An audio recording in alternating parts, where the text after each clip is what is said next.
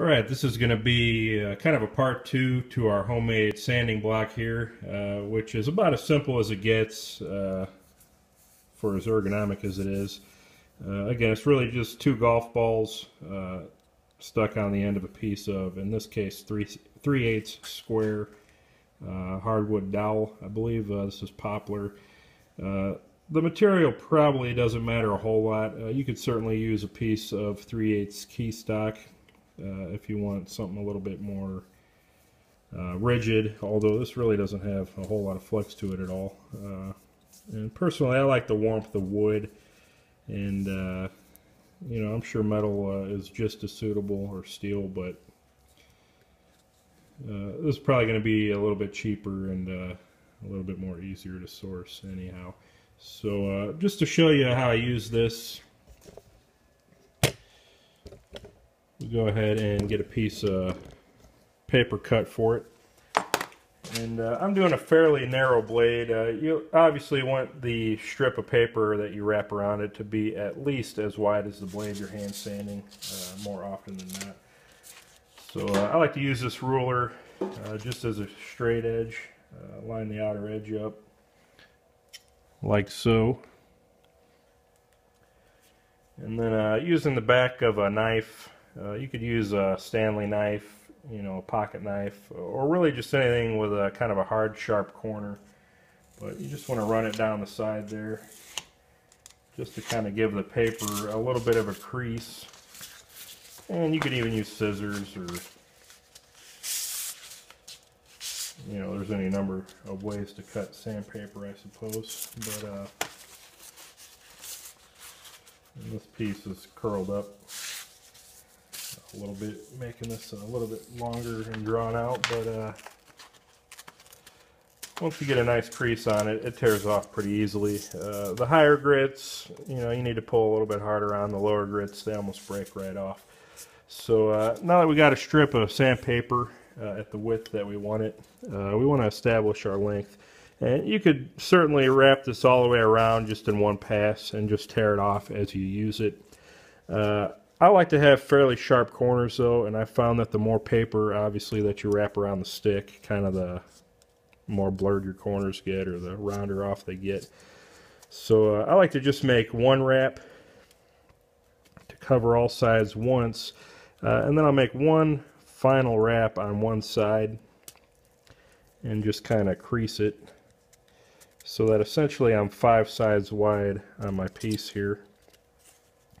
And uh, you can see the creases are pretty pronounced, so that makes this next part uh, pretty simple.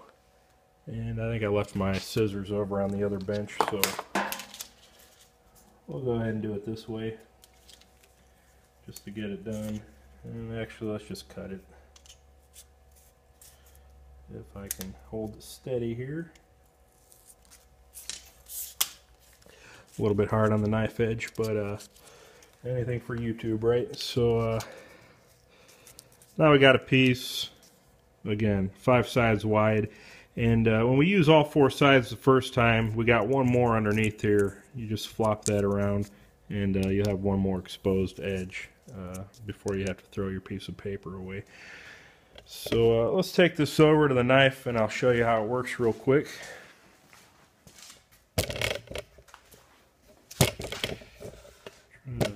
Stabilize this tripod a little better.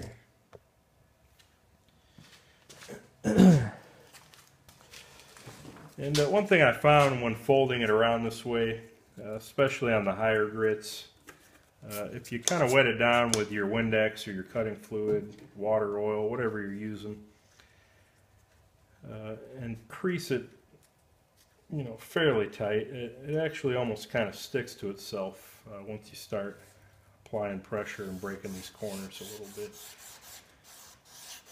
So uh, you can see I can get my thumbs over the paper to you know kind of stabilize it a little bit if I need to or I can kind of keep my uh, hands nice and far away from the edge.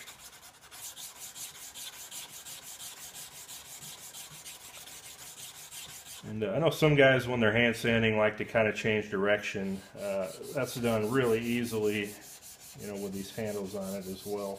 So you can kind of get a different angle there. uh, however you need to. And uh, looks like I didn't tighten my clamp up. But uh, obviously as you clear one side or clog one side up, just turn it. And you probably want your uh, bottom edge trailing. So you can kind of turn it as you need it. And then again, uh, just flopping those last edges uh, gives you one last shot at it. And uh, just a real quick added bonus before we cut the video off is uh, I think you guys get the picture. Uh, you know, this is really nice for your uh, calisthenics, you know, if you're trying to buff up a little bit for the wife. You know, makes a nice little exercise device. But probably my favorite feature is that if you accidentally drop it, bounces right back up into your lap. So, what do you think of that? Uh, anyway, I hope you guys enjoyed the video. Uh, let me know uh, what you think. Uh, if you happen to make one yourself, uh, how you like it. Appreciate any feedback on this. And if you like the video, as always, give it a thumbs up. And thanks for watching.